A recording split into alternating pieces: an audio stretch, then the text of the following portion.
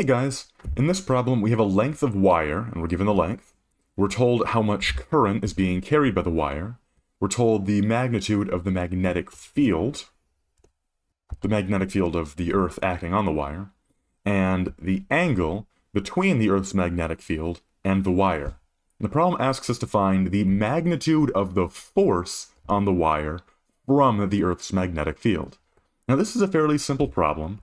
We just have to use the formula for magnetic field due to, or for magnetic force due to a current of wire. And it's equal to the current multiplied by the length of the wire, multiplied by the, the strength of the magnetic field, multiplied by the sine of theta, the angle between the wire and the field. So this is pretty simple because we've, we've been given all these variables, so it's just a matter of plugging it in. So the current is 120 amperes, the length is 240 meters, the magnetic field is 5 multiplied by 10 to the power of negative 5 teslas, and then, then multiply by the sine of the angle, which is 68 degrees. And if we put this into a calculator, then we find a force of 1.3 newtons. And that is our answer to the problem, and that's, and that's really it. So that is, that is it for this video. I hope this video helped you out.